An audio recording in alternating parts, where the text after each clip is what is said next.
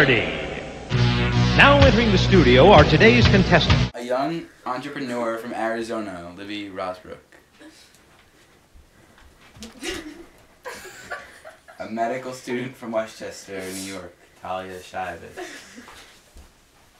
And last but not least, a psychologist from California, Ronnie Luzone.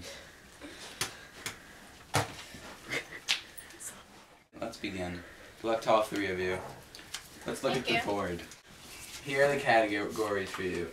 Economic, math, trivia, old movies, and fossils. Libby, you will select first. Trivia for 400. Good choice. Mel Blanc. Who is the voice of Bugs Bunny? Correct. Next, Libby. Um, math for 300. In order to multiply powers that have the same base, the exponents must be added to one another. What is one of the rules of exponents? Wow, you're on fire. Alright. I will be teaching the seven rules of exponents. The first rule states that in order to multiply powers that have the same base, the exponents must be added to one another. For example, if you have 4 to the third times 4 to the seventh, you would add 3 and 7 together, and the answer would be 4 to the tenth. The second rule is that in order to find a power of a power, the exponents are multiplied together. For example, solving 6 to the fifth to the third power, you would multiply 5 and 3 with each other and keep 6 the same. So the answer would be 6 to the 15th power. The third rule is that in order to find the power of a product, the power of each factor must be multiplied. For example, when trying to solve 5 times 2 to the second power, you would multiply 5 to the second times 2 to the second. And so that equals 25 times 4, which equals 100. Go.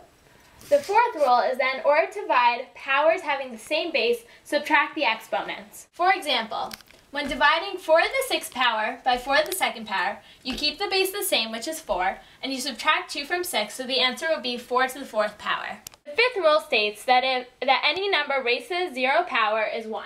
Now, For example, 5 raised to the zero power equals 1. 100 raised to the zero power equals 1.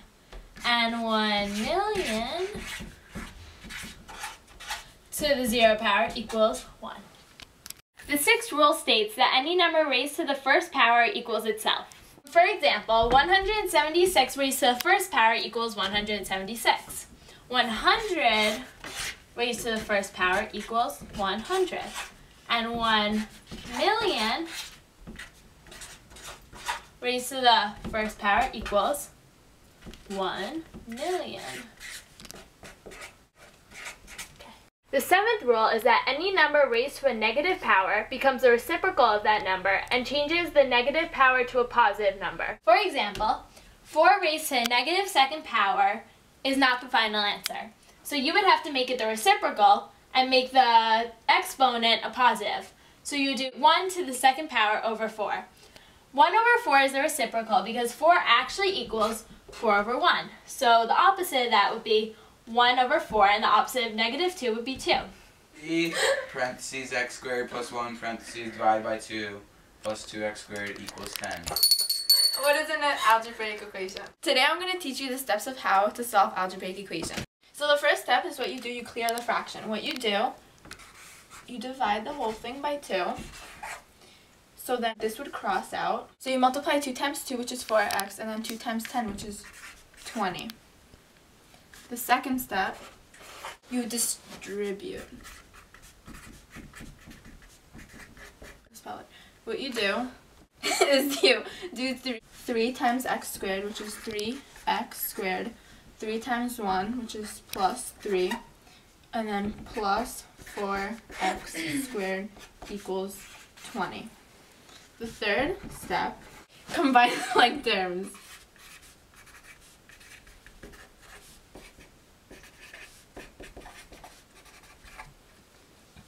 What you do is you add this and this because they're the same like term, which is 7x squared plus 3 equals 20. The fourth step, additive inverse. Additive inverse. What you do is, wait, let me just rewrite it. You subtract 3 on both sides, so this crosses out. Subtract 3, and this is 17. So now I'm doing the fifth step, which is multiplicative inverse. What you do is you divide both sides by 7. So x equals plus or minus rad 17 over 7. Your next category. Fossils. 400. 400. Good joke. Um, Megalosaurus bone in China. Where was the first fossil found? Talia. Um, I think I'm gonna do math for 100. Uh, That's a very bold call. 2x plus 3y. What is ax plus by equals c for? Today I'm going to teach how to plot a line in ax plus by equals c form using the equation 2x plus 3y equals 12. First we will demonstrate how to use an xy chart.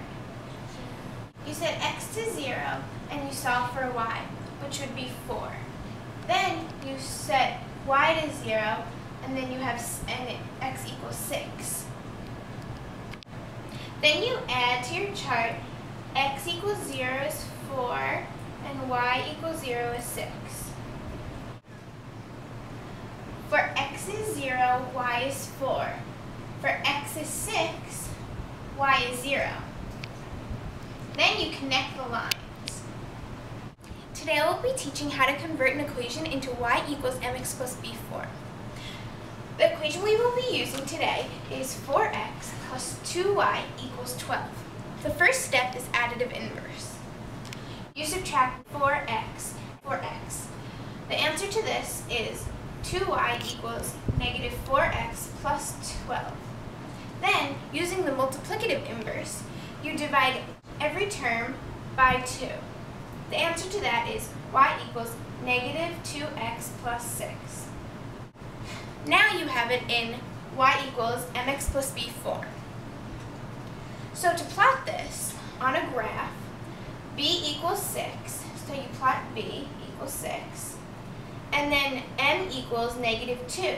But according to the rules of rise over run, you put a 1 under it, because for every 1 across you go down 2. So, go down 2 and over 1. And then you connect the line. Next one, Talia. I'm gonna select old movies for 300. This movie has a lot of munchkins that help Dorothy get to the wizard. What is the Wizard of Oz? morning.